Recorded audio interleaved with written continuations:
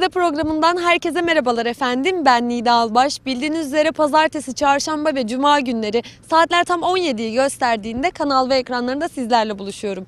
Bugün kameraman arkadaşım İmam'la birlikteyiz. Halkımıza son zamanlarda oldukça artan, haberlerde okuduğumuz, izlediğimiz kadın cinayetleri hakkında ne düşündüklerini soracağız. Biz yanıtları çok merak ediyoruz. Siz de merak ediyorsanız söz sizde programı başlasın. Merhabalar, siz biraz tanıyabilir miyiz? Merhaba, adım Harun Özkan. Ee, sınava hazırlanıyoruz, son sınıf öğrencisiyiz. Öyle saatlerimiz içerisinde buralarda gezintiye çıkıyoruz. Lise son musunuz? Aynen. Nasıl gidiyor peki uzaktan eğitim? Hani tabii ki yüz yüze gibi verim alamıyoruz ama yine de çalışmaya çalışıyoruz dershaneler sayesinde. Öyle. Zorluyor mu sizi evden çalışmak, yanınızda bir öğretmenin olmaması? Yani tabii ki yüz yüze gibi olmuyor hiçbir zaman. Ee, kendimiz daha fazla gayret göstererek iyi yerlere gelmeye çalışıyoruz. Böyle sürekli bisiklet sürmeyi sever misiniz? Aynen. Gelir misiniz buraya? Genel olarak spor yapan insanlarız. Ee, şimdi bisikletle geziyoruz öyle. Pandemi döneminde psikolojimize de çok olumlu etkisi var değil mi? Yani e, çıkabildiğimiz saatler boyunca spor yapmak iyi geliyor bize. E, sorumuza gelelim o zaman. Kadın cinayetleri hakkında ne düşünüyorsun? Yani e, ülke olarak bu durumda çok kötü bir konumdayız. Kadın cinayetleri Türkiye'de gerçekten çok fazla olan bir şey. E, ve vahşice öldürülüyor. Hiçbir şekilde normal ölümler olmuyor. E, kadın cinayetleri ülke şu an çok kötü durumda ve katiller hiçbir şekilde gerekli cezayı almıyor. Mesela Kadir Şeker olayına gelirsek orada cinayete müdahale eden insanları e, 12 yıl cezalandırılıyor ama maalesef katiller gerekli cezayı almıyor. Gidiyorlar orada orada burada canlı yayın yapıyorlar. Hala devam edeceğiz diye konuşuyorlar. E, bu konuda devletimizden duyarlılık bekliyorum. Kadın cinayetleri e, duyarsız olmamalı. Gerekli cezayı herkes almalı. Ben burada devletimize sesleniyorum. Eğer bizi görürseniz kadın cinayetleri konusunda gerekirse idam getirilmeli. Ben yoksa bunun sonu yok.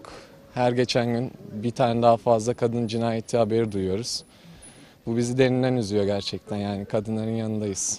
E, peki biliyorsun son zamanlarda çok fazla arttı kadın cinayetleri. Sürekli haberlerde görüyoruz.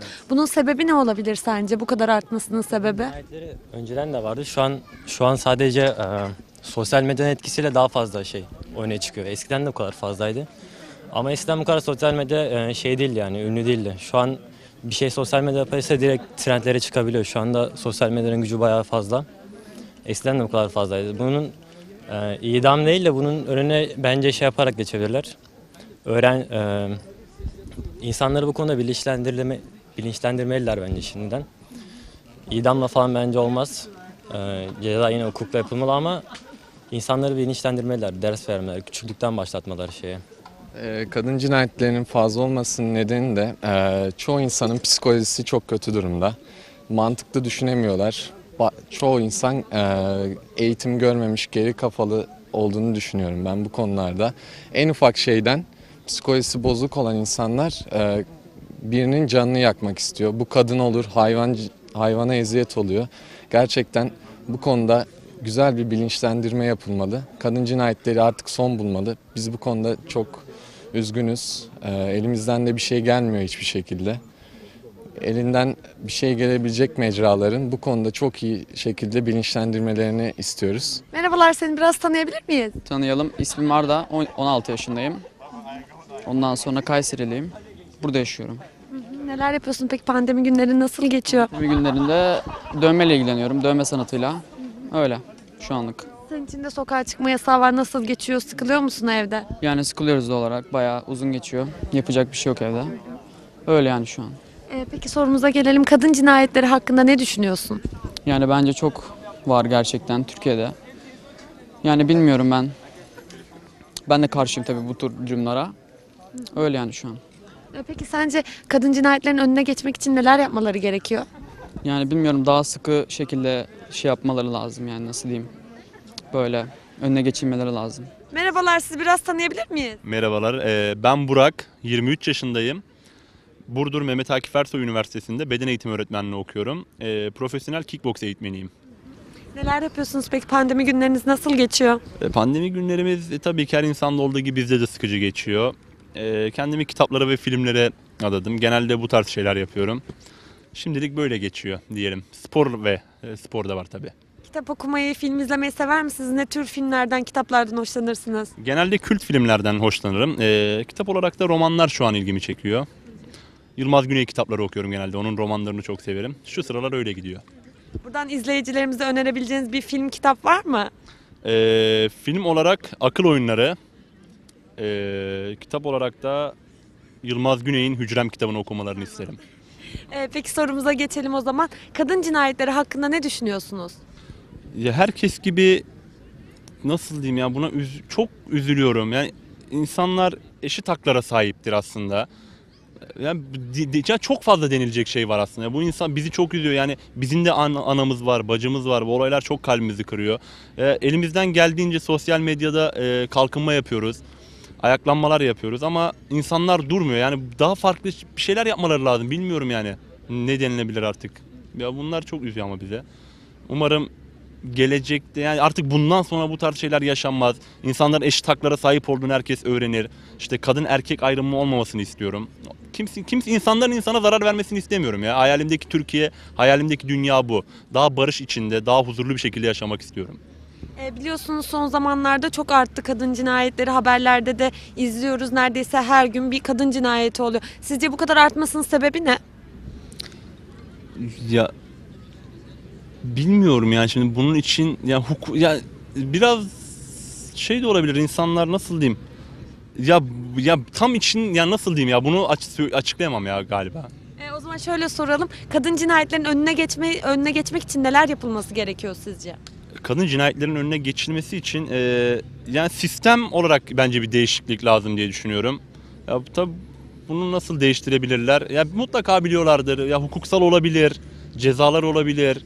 İşte daha farklı şeyler getirmeleri lazım bence ya. Merhaba, e, Fatma Nur ben. E, Siyaset bilimi ve uluslararası ilişkiler alanında yüksek lisans yapıyorum. Yüksek lisans öğrencisiyim. Nasıl gidiyor peki pandemi günleriniz?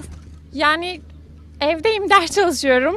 Her yer kapalı. Anca böyle işte kahve içmeye çıkabiliyoruz. Öyle genelde ders çalışıyorum, öyle geçiyor. Ama burası da çok iyi geliyor insana değil mi pandemi günlerinde psikolojik olarak? Evet, ya Antalya'da yaşadığımız için aslında biz şanslıyız. Çünkü sahil var en azından hani ortam çok güzel, hava çok güzel.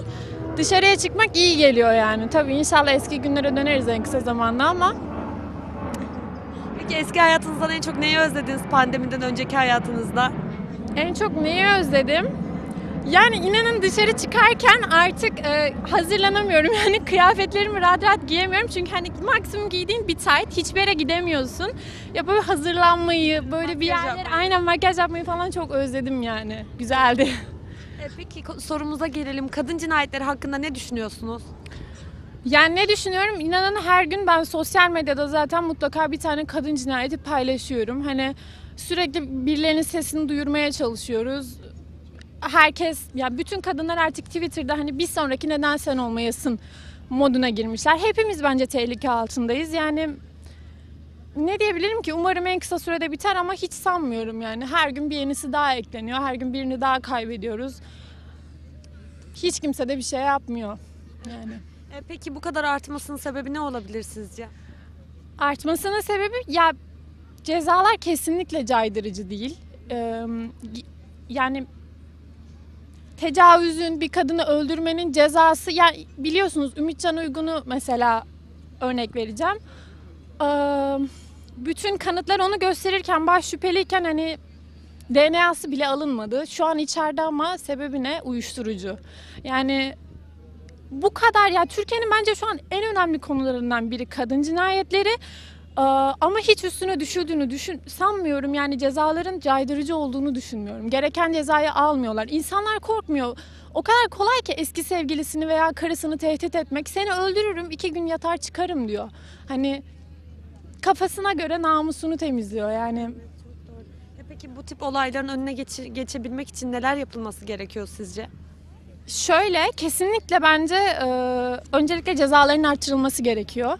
E, gereken cezaları verirlerse bir olur iki olur artık insanlar çekinir. Hani kendi hayatlarını belki yani bu insanlar hakkında da bir şey söylemek istemiyorum. Yani belli zaten kapasiteleri ama e, cezaların artırılması gerektiğini düşünüyorum. İki, e, çok ataerkil bir toplumda yaşıyoruz ya. Hani bazı şeyler gerçekten küçüklükten geliyor. Küçüklükten kadının yerini aileden öğrenmesi lazım. Yani anladınız mı? Hani erkek çocuklar daha üst görüyorlar kendilerini. Atıyorum ki bir sofra hazırlanacak, yemek yiyecek. Hep anneyle kız çocuğu hazırlar o sofrayı. Ha, sofra hazırlanınca baba oğul gelir yerler. Sonra anne kız gene kaldırır. Belki çok basit her gün yaşadığımız bir şey ama aslında bu bile insanın aklına hani kadın mı hizmet edecek? Yani aslında kadın ve erkeğin eşit olduğunu küçüklükten bence e, insanların öğrenmesi gerekiyor. Bizim öğretmemiz gerekiyor. Eğitimle bilmiyorum çok uzun yıllar alacak belki ama umarım eninde sonunda. Merhabalar neler yapıyorsunuz? Teşekkür ederiz. Pandemide kaçtık çimenlerde oturuyoruz. Sizi biraz tanıyabilir miyiz? Ben Halime Toprak. Ev hanımıyım. Kızım var. Beraber geziyoruz. Buralı Teşekkür- mısınız, Antalyalı mısınız? Antalyalıyız, evet Laralıyız. Teşekkürler. Nasıl geçiyor peki pandemi günleriniz? Sürekli buraya geliyor musunuz Düden Şelalesi'ne? Yok sürekli gelmiyoruz. Ee, Evde valla ev işi yapmaktan zaten bunaldık artık. Yemek, ekmek, çocuklar hep Arada evde. böyle hava almak için mi? Havanız değişsin. Bugün Tuğçe'nin doğum gününü kutlamak için çıktık. doğum bir günün kutlu olsun diyelim o zaman sana. Teşekkürler. Öyle bir arkadaşlarımızla takıldık işte. Biraz oturuyoruz. Çok iyi yapmışsınız. O zaman sorumuza gelelim hemen. Kadın cinayetleri hakkında ne düşünüyorsunuz? Bu konu hakkında neler söylemek istersiniz? Valla bu kadın cinayetlerini her gün duyuyoruz, her gün üzülüyoruz. Yani olmasın, bitsin artık. Yasa mı çıkacak, ne çıkacaksa artık çıksın yani. Bu kadınlara uzanan eller kırılsın diyelim. E, Peki biliyorsunuz son yıllarda çok arttı. Neredeyse dediğiniz gibi her gün haberlerde görüyoruz, duyuyoruz. Bu kadar artmasının sebebi ne olabilir? Valla ekonomik mi artık e, bilemedim çok eşlilik mi diyelim. Hani herkes artık şimdi istediği zaman bulabiliyorlar, çıkabiliyorlar. Karışık yani oralar ama en çok da ekonomik herhalde biraz şiddetin boyutu. Çocuklara, kadınlara hiç acımıyorlar. Allah şey yapsın yani bir evveli bunlardan kurtarsın bizi. E peki bunu kadın cinayetlerinin önüne geçmek için neler yapılması gerekiyor sizce? Bence var ya e, önce bir yasa çıkması lazım. E, Erkekler böyle caydırıcı yani bir şeyler olması lazım ki kadınlara vuramasınlar, öldüremesinler. Onları yani bir çok ağır bir ceza çıkması lazım. Sizi biraz tanıyabilir miyiz? Merhaba, Eda Cengiz Tekin ben. Aslen Adanalıyım. Yaklaşık 20 yıldır neredeyse Antalya'da yaşıyorum. E neler yapıyorsunuz peki? Ne- Pandemi günleriniz nasıl geçiyor? Ya, Çalışıyor musunuz? Ev hanımı şu mısınız? anda çalışmıyorum. Ee, ODTÜ'nün Kıbrıs kampüsünde iktisat okumuştum. Birkaç kurumsal yerde tecrübem oldu ancak bana göre olmadığını fark ettim. İngilizce öğretmeni oldum. Çeviriler yapıyorum. Online dersler arıyorum. Bu şekilde. E, sorumuza gelelim o zaman. Kadın cinayetleri hakkında ne düşünüyorsunuz? Neler söylemek istersiniz? Tabii elbette çok üzücü. Ee, yani aldığımız haberlerle hepimizin böyle yüreği yanıyor maalesef. Ancak e, herhangi bir caydırıcı, herhangi bir önüne geçecek bir durum olmadığı için bunun bitmeyeceğini düşünüyorum. Özellikle işte bu İstanbul Sözleşmesi'nin uygulanması lazım ki bir şekilde e, caydırıcı olması lazım. Bence sebebi şu, e, eskiden de vardı, hep vardı. Çünkü erkeğin yani beden gücü, kas gücü her zaman kadından üstün maalesef. Ama aynı şekilde kadının da dilinin eh, kemiği derler. Kadının da sözleri çok yaralayıcı olabiliyor. İki tarafta aslında birbirine hep saygılı olmak zorunda geliyor bana. Yani bir taraf sözleriyle, diğer tarafta beden gücüyle karşı taraftan kendini üstün görmemeli. Ama ne olursa olsun hep işte ataerkil bir toplumun da getirdiği e, bir durum bu. Hep erkekler her konuda üstün hissetme ihtiyacı duyuyorlar. Şimdi mesela ekonomik durumumuz evet e, hiç iç açıcı değil. Herkes e, çok zorlanıyor, gelecek kaygısı var. Hayat daha stresli ve kaygılı yaşanıyor. Dolayısıyla çok e, başka yönlere evrilebiliyor. İnsanlar stresini artık eşinden çocuğundan çıkarabiliyor ama Eskiden de vardı dediğim gibi. Eskiden de aile içinde şiddet vardı, kadına şiddet vardı, kadına psikolojik şiddet vardı. Şimdi biraz daha işte toplumda kadın erkek e, iş hayatında eşitlenmeye çalışıyor. Bu defa kadınlar özgürlüklerini gerçekten elinde tutmaya, yaşamaya çalışıyor. Adeta aslında sen e, kadınlığını bil, e, tamam para kazanıyor olabilirsin, dışarıya çıkabiliyor olabilirsin. Bu defa da namussuzlukla suçlanır hale geliyorlar. Yani e, bir şekilde toplumun hem sosyolojik anlamda psikolojik destek alması lazım. Hem de bir takım yasalarla caydırıcı kurallar gelmesi lazım. Tabii dediğiniz gibi şiddet sadece fiziksel değil psikolojik de olabilir. Evet, evet, evet. Yani sen ne bilirsin ki, sen ne anlarsın ki, çok konuşma. Bu takım, e, yani bu tarz cümleler bile aslında çok yaralayıcı. Dolayısıyla sadece bir kadın öldüğünde aslında ona şiddet uygulanmış gibi e, görüyoruz ama bir kadını küçük görmek, bir insanı küçük görmek, yani sadece bir kadını bir erkeği değil bir çocuğu da aynı şekilde küçük görmek bunların hepsi psikolojik şiddet. Zaten bunlar artık e, artık bir uç noktaya geliyor. Fiziksel şiddete dönüşüyor. Hatta işte cinayetlerle de sonlanabiliyor. Doğru söylediniz. Teşekkür ediyorum. Eklemek istediğiniz bir şey var mı? Çok teşekkür ediyorum farkındalık yarattığınız için. İnşallah bu şekilde hep beraber sesimizi bir şekilde böyle e, duyura duyura duyura duyura bu yasaların gelmesini sağlarız. Merhabalar sizi tanıyabilir miyiz biraz? Emre Alkan ismi. Ee, Antalyalıyım zaten burada yaşıyorum. Ee, doğma büyüme buralıyım. Ee, kadına şiddetle ilgili düşüncemi mi söyleyeyim yoksa hani e, nasıl bir Neler neler söylemek istersiniz? Düşünceleriniz neler? Ne düşünüyorsunuz bu konu hakkında? en büyük sıkıntılarından biri yani kadına şiddet. Ee, çünkü e, nasıl anlatayım? Ya bizim kültürümüzde zaten böyle bir şey yok. Kadın dövme diye bir şey yok aslında. Ee, bu e, toplumun ahlaki yapısıyla ilgili bir durum. Ee, yani biz Müslüman bir ülkeyiz ama e, ahlaki olarak çok daha ileri gittiğimizi düşünmüyorum. Aksine geri gittiğimizi düşünüyorum. Ee, öncelikle bizim bu toplumda erkek çocuklarını e, aileden biraz düzeltmemiz lazım. Yani en başta aile geliyor. Erkek çocuğu her şeyi yapabilir olarak mantığıyla e, bazı şeyleri çocuklara öğretirsek işte ileride böyle sıkıntılar ol- oluyor. Veya aile içi şiddet olursa böyle sıkıntılar oluyor. İlk önce bunu düzeltmemiz gerek düşünüyorum. Ee, bir de kadınların okuması gerektiğini düşünüyorum. Çünkü e, ekonomik olarak özgür olmayan bir kadın her zaman bir erkeğe muhtaç kalır. E, çünkü ben e, öğretmen ailesinden geliyorum. Annem babam öğretmen, e, ablam mimar ondan sonra. Yani e, mesela ablam okumasaydı e, ya sonuçta bir erkeğe muhtaç kalacaktı. Ve onun yapmak yani dediklerini, istediklerini yapmak zorunda kalacaktı. Ya ben doğru bulmuyorum yani en azından e, bir Avrupa seviyesine ulaşmamız gerektiğini düşünüyorum bu konuda. E, sadece işte bir erkekle birlikte olmak veya kadınlar için de geçerli bu. Evlilik her şey değil. İlk önce insanın kendini geliştirmesi lazım diye düşünüyorum ben. E, ve ne hak ettiğini bilmesi lazım. E, nasıl yaşaması gerektiğini bilmesi lazım bir kadının. E, tamam erke kadına şiddet diye bir şey var ama e, bunu bayanların da e, kendi açılarından engellemesi lazım. Aynı zamanda hukuk alanında da devletin bu konuda yardımcı olması lazım tabii. Çok fazla açık olduğu için de bunlar oluyor. E, ben böyle düşünüyorum. E, ama hani bazı gelişmeler oluyor, bazı şeyler yapılmaya çalışılıyor tabii ki. Ama ilk önce erkeklerden başlayıp, aileden başlayıp bu durumun düzeltilmesi gerektiğini e, savunanlardanım. Tabii bu da biraz zaman alacak diye düşünüyorum ben yani. Hı hı. Ee, Sizin de bildiğiniz gibi son yıllarda çok fazla arttı kadın cinayetleri. Her gün haberlerde duyuyoruz, okuyoruz. Bunun sebebi ne olabilir sizce? Son yıllarda bu kadar artmasının. Ee, işte bu e, artmasının sebebi erkeklerden kaynaklanıyor. Ee, bir kadın erkeksiz yapamaz mantığı var. Ee, işte e, veya erkekle e, erkek izin vermeden bir şey yapamaz. İşte e, bir yere gidemez, biriyle konuşamaz. İşte şunu e, ya da bazı şeyleri yapamaz, sosyal olamaz, arkadaşı olamaz mantığı var. Evlilikler maalesef böyle kuruluyor şu an.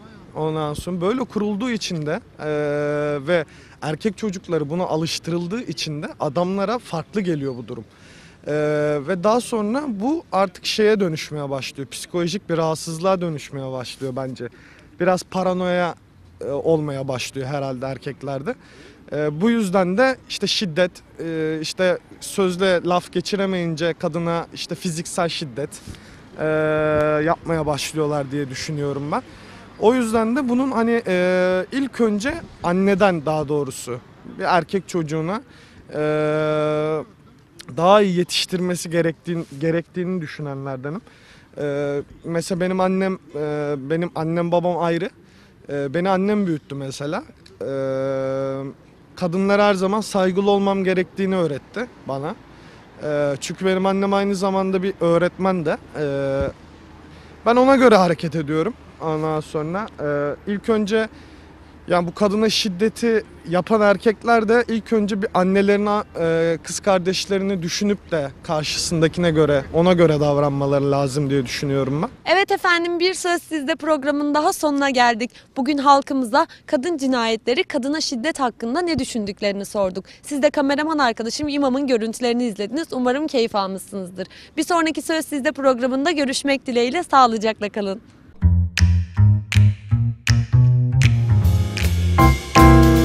Bye.